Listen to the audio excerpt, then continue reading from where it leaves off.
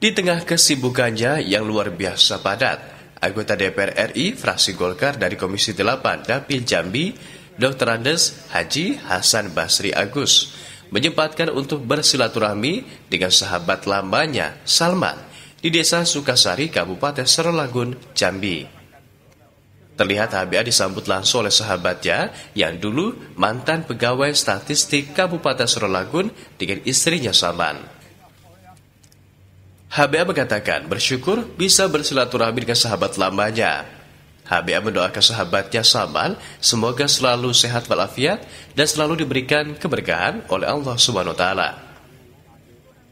Sementara itu Saman sahabatnya HBA menyampaikan sangat terharu dan bangga bisa dikunjungi oleh sahabatnya sendiri, yaitu tokoh Jambi, parutan orang Jambi.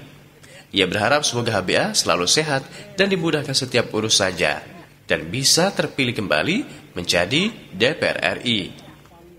Mantan Bupati Serolagun yang Derbawan ini juga memberikan sahabatnya berupa sarung, shawl, kalender, dan bantuan berupa uang.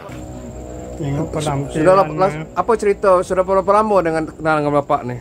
Apa? Oh. Ah.